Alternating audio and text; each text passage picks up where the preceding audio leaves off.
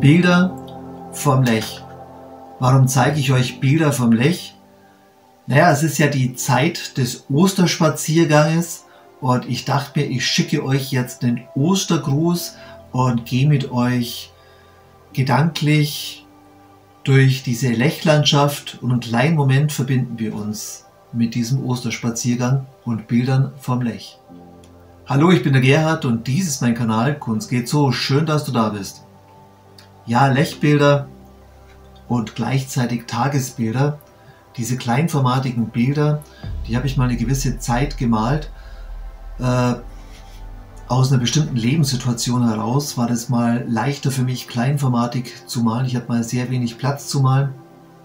Und ich wollte das auch mal ausprobieren, wie das ist, so jeden Tag ein Bild zu malen. Und ich habe da auch einen Blogartikel dazu geschrieben, der ist unten verlinkt. Diese Lechlandschaft ist so ungefähr 15 Minuten von hier entfernt. So hier eins meiner ersten Tagesbilder. Und ich mag dieses Tagesbild so gern, weil es so die Zeit zeigt, warum ich da auch so gerne bin. Man sitzt einfach nur da unten, man liest oder man schaut auf das Wasser und wird innerlich ganz ruhig. Und das ist das, was mir hier so gefällt. Also ich fahre gern Boot am Lech. Ich liege aber auch gerne so an diesen Kiesstränden. Also das hier sind die Kiesstrände des Leches. Das hier ist eigentlich schon ein Lost Place, denn jetzt ist hier eine Brücke drüber und ich mag nicht unter einer Brücke liegen. Ja? Also hier ist Sonnenuntergang am Lech.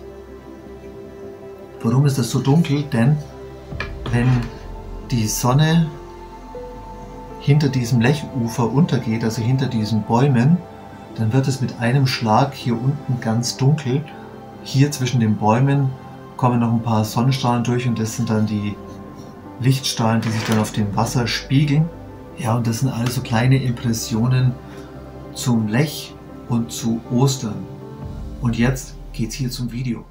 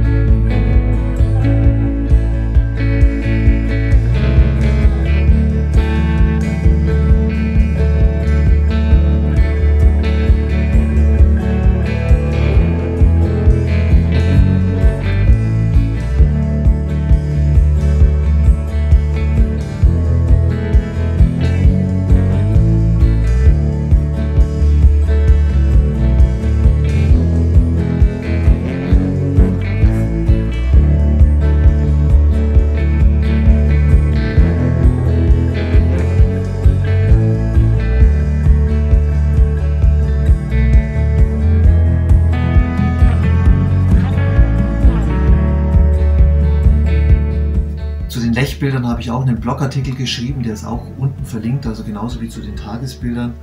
Und hier zum Beispiel, das ist eine Zeichnung, die ich am Lech gezeichnet habe. ich würde euch raten, also wenn ihr zum Beispiel so mit Osterspaziergang und Skizzenbuch bewaffnet ins Freie geht und im Freien zeichnet, nehmt ein kleines, dünnes Skizzenbuch und kein großes und kein dickes. Ihr müsst euch immer vorstellen, auf DIN A4 ist, kein, ist viel Platz, wenn ich keine Ahnung habe. Und deswegen sind die kleinen da besser. Kleinformate machen einfach selten Stress. Man kennt sich da meistens gut aus. Ich habe jetzt hier Bleistift genommen, du kannst nehmen, was du magst.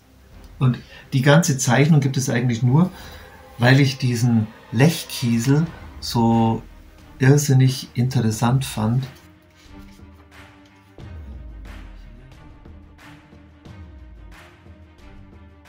Vielen Dank fürs Reinschauen. Nochmals ein frohes Osterfest und ich wünsche euch richtig schöne, ruhige Tage und dass euch der Osterhase ja, ein paar tolle Sachen bringt.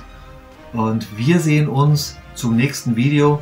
Bis dahin, mach's gut und wir sehen uns. Adios.